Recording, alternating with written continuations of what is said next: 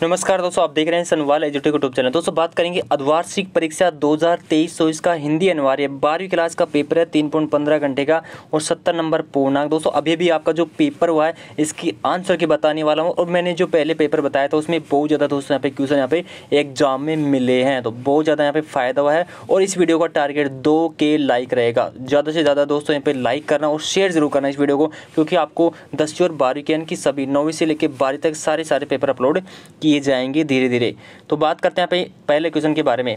पहला क्वेश्चन क्या है? निम्नलिखित अपरित गद्यांश का ध्यानपूर्वक पढ़कर जो भी क्वेश्चन दिए गए उन प्रश्नों के उत्तर यहाँ पे देने हैं। तो पहले आप इस पढ़ पढ़ लीजिए इसको। मैं बात करता हूँ पहले क्वेश्चन की। आज हमारी सबसे बड़ी आवश्यकता क्या है? आने वाले जो भी आपके एग्ज़ाम रहेंगे दोस्तों, उसमें भी काम आने वाला पेपर है। तो इसका राइट आंसर क्या होगा पे? बे ऑप्शन, राष्ट्रीय चरित्र का पुनर्मूल्यांकन। नेक्स्ट बात करते हैं दूसरा। उपयुक्त अध्यांश का उचित शीर्षक क्या है? राष्ट्रीय चरित्र का पुनर्मूल्यांकन। नेक्स्ट आता है तीसरा। स्वावलंबी शब्द में प्रत्यय प्रत्यय प्रयोग किया गया तो कौन सा है? ई प्रत्यय, ए ऑप्शन। नेक्स्ट है फोर। राष्ट्रीय चरित्र के विकास के लिए किसकी आवश्यकता है? तो किसकी आवश्यकता यहाँ पे?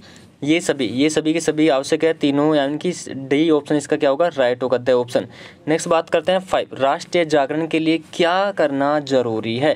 तो फाइव क्वेश्चन यहाँ पे ब ऑप्शन होगा युवा पीढ़ी को अनुप्रमाणित करना। किसी भी क्वेश्चन में डाउट है कमेंट से हमें ज़रूर बताना। दूसरे क्वेश्चन की हम बात करते हैं, निम्नलिखित पद्यांश को पढ़कर नीचे दिए गए जो भी प्रश्न है, उनके उत्तर यहाँ पे देने हैं। तो पहले आप इस पढ़ लीजिए इसको, पद्यांश को, और जो भी क्वेश्चन उनकी हम बात करते हैं यहाँ पे नेक्स्ट में। पहला क्वेश्चन क्या पूछा पे? मनुष्य का जन्म किस उद्देश्य से हुआ है? यानी कि इसमें पूछा है, मनुष्य का जन्म है, किस उद्देश्य से हुआ है? तो आपको आंसर यहाँ पे देखने के लिए मिल जाएगा। क्या है यहाँ पे? जग में रहकर कुछ नाम करने के लिए। मनुष्य का जन्म क्या है कि जग में रहने के लिए, जग में रहकर कुछ नाम करो, उसके लिए यहाँ पे जन्म हुआ है।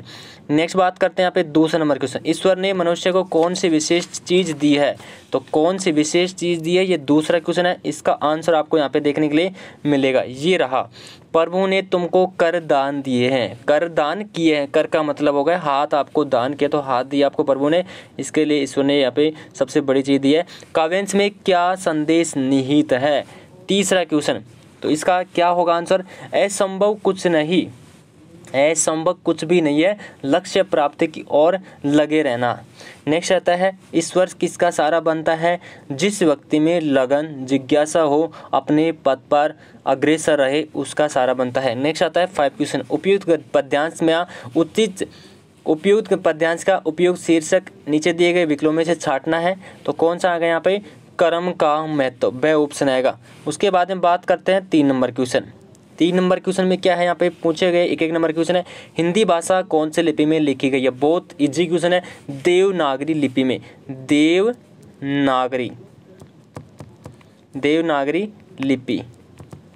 ठीक है। उसके बाद में दूसरा आता है, चरण कमल बंदो हरी राई पंक्ति में आरोप के कारण निहित अलंकार का नाम बताना है। रूपक अलंकार। तीसरा है जब शब्द की आवृत्ति हो परंतु प्रत्येक बार अर्थ या अनन्य हो तो कौन सा अलंकार होता है? लाटानुप्रास। लाटानुप्रास अलंकार। नेक्स्ट आता है भाषा को शुद्ध लिखने या बोलने संबंधित जानकारी देने के लिए कौन सा शास्त्र कहलाता है? तो क्या कहलाता है यहाँ पे? व्याकरण। व्याकरण कहलाता है। नेक्स्ट आता है, राम तो गाय है उससे मत मारो, वाक्य में निहित सब शक्ति कौन सी है? इसका आंसर आप कमेंट में ज़रूर दीजिएगा। नेक्स्ट है फोर सिक्स है, जिससे व्यापार लक्ष्यार्थ से भिन्न विशेष चमत्कारी व्यर्थ का बोध होता है, उसे क्या कहते हैं यहाँ पे? शब्द शक्ति कहते हैं, यानी कि व्यंजना। व्यंजना शब्द शक्ति कहते हैं। दोस्तों, वीडियो को ज़्यादा से ज़्यादा लोग लाइक करेंगे, दो के लाइक का टारगेट है, और शेयर भी करेंगे अपने दोस्तों के पास भी। उसके बाद में है, निम्न प्रशासनिक शब्दों को हिंदी रूपांतरण करना होगा यहाँ पे। तो क्या होगा यहाँ पे हिंदी रूपांतरण? इसका क्या होगा इसका मतलब हो गया भत्ता। भत्ता हो गया और जो एफ़ डी वेट है, इसका हो गया शपथ पात्र शपथ पात्र। ठीक है? नेक्स्ट आता है फीचर के कोई चार प्रकार बताना है। तो फीचर के प्रकार कौन कौन से? व्यक्तिगत फीचर मान सकते हैं, समाचार फीचर मान सकते हैं रेडियो फीचर मान सकते हैं, विज्ञान फीचर मान सकते हैं। आलेख और पिक्चर में एक अंतर बताना है। आलेख का बात करो तो आलेख गंभीर और व्यंग्यपूर्ण होते हैं, जबकि फीचर क्या होते हैं? हास्य और मनोरंजनपूर्ण होते हैं। अन्वेषण शब्द का अंग्रेज़ी शब्द बताना है। तो क्या आएगा? Explorer E X P L O R E ये आएगा। नेक्स्ट बात करते हैं आगे फोर क्वेश्चन इसमें क्या है? बीस शब्दों में उत्तर देने एक एक क्वेश्चन के सिल्वर बैंडिंग कहानी में किस प्रवृत्ति में व्यंग्य किया गया है? दोस्तों, ऐसे कैसे क्वेश्चन आ रहे हैं आपके एग्ज़ाम में? जो उस कहानी के आधार पर बताना है कि लेखक के पिता ने उनकी, उसकी पढ़ाई में क्यों छुड़वा दी थी? मोहनजोदड़ो में अब खुदाई बंद क्यों कर दी गई है? मोहनजोदड़ो का इलाका भारत के किस राज्य से मिलता जुलता है? यशोधर बाबी अपने परिवार से क्या अपेक्षा करते थे?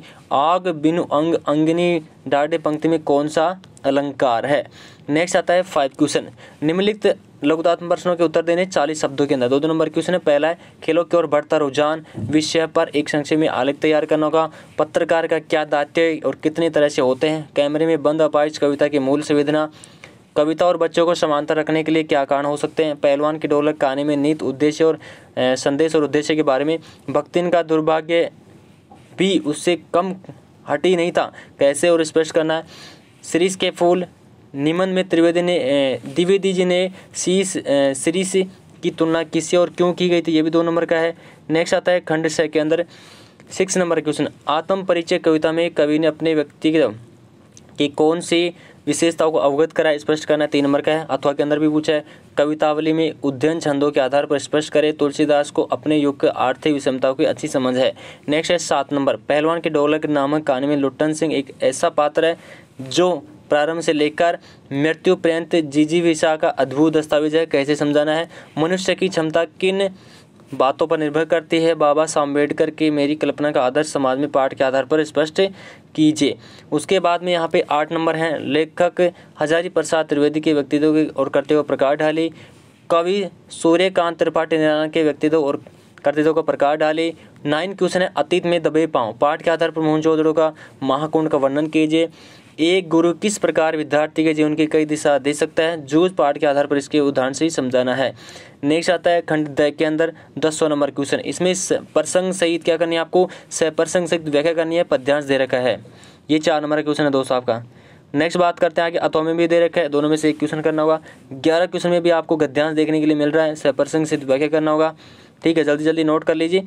और ये क्वेश्चन आपके पिछले पेपर से भी बहुत ज़्यादा क्वेश्चन यहाँ पे इस पेपर में भी आए हैं और जिसका एग्ज़ाम नहीं हुआ उसके लिए काम आने वाला पेपर रहेगा। बारह नंबर क्वेश्चन है, इसमें आपको क्या लिखना होगा एक? पत्थर लिखना होगा। अथवा में दे रखा है और वैसे भी चार नंबर का क्वेश्चन है ये। पाँच नंबर का क्वेश्चन है, लास्ट निबंध वाला। तो ये प्लास्टिक थैली और पर्यावरण का जो दुश्मन है, मैंने पहले बताया था, उसके अंदर भी आया था ये।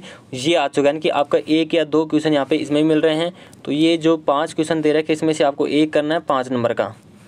ठीक है? तो प्लीज़ वीडियो को लाइक करें और चैनल को ज़रूर सब्सक्राइब करें। Thank you